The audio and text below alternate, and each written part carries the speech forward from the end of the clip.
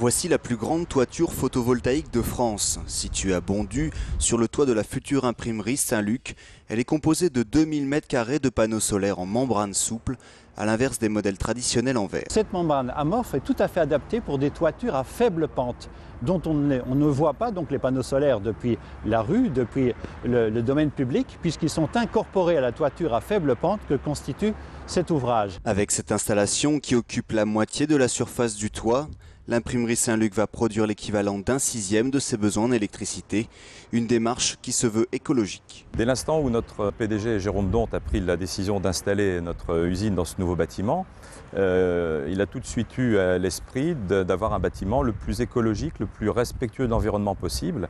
C'est pourquoi donc cette, cette, toiture hautement technologique, comme on vous l'a expliqué.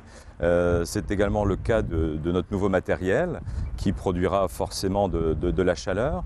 Toutes ces, énergies seront récupérées pour faire fonctionner les systèmes de climatisation, les systèmes de, de, de production d'eau chaude. Le système de membrane aurait une durée de vie de 50 ans, soit trois fois plus que les panneaux solaires traditionnels, mais pour un coût plus élevé.